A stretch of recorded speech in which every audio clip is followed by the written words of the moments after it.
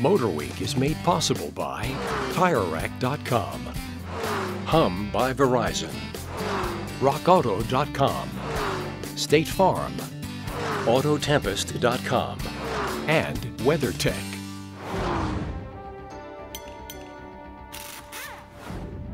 One of the most common questions that I get is that, well, I took my car in for an oil change and the technician told me that instead of that thin, watery 020 or 520 or 530 that the manufacturer recommends, well, you need something that is really seriously going to protect your engine.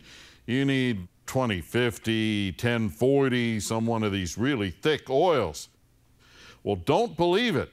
You see, modern engines are different than older engines, and going to a thicker oil, well, it can lead to all kinds of problems. Number one, it can lead to poor circulation in the engine because it's too thick. And that poor circulation can lead to problems such as we see here. We cut a valve cover apart. Now, this area in here that's all clogged up, that is part of the breather system for the crankcase we had to put new valve covers on that engine because of this crud. We can see over here that we have another valve cover all gunked up with sludge and so on. Now, why does this happen?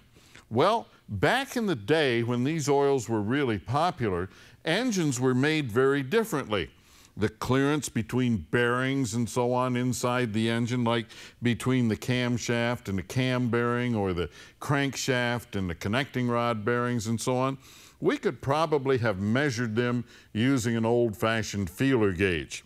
But today, engines are built using modern technology, computer-controlled machining, lasers to measure things, and so on. So the net result is that these modern engines are much more precise. They fit better. And the object of an oil, the number one thing, is to move between moving parts and keep those parts from touching one another. Well, when we have smaller spaces, we need thinner oil to fit through those smaller spaces. Now, suppose you put a thicker oil in on a modern engine. Well, one of the things it's going to do is increase oil pressure. Now, the variable valve timing works off oil pressure, so you might wind up with a check engine light and a code for the variable valve timing, which could lead to some expensive repairs. The other thing is that oil is the only thing that cools bearings inside the engine. Anything that's lubricated is cooled by the oil. And when we increase oil viscosity, what we do is slow down the movement of the oil and that means that the parts inside the engine are going to run hotter because there's less oil flow, and that means more wear.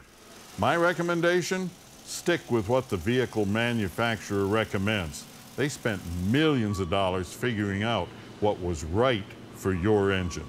And if you have a question or a comment, drop me a line right here at Motor Week.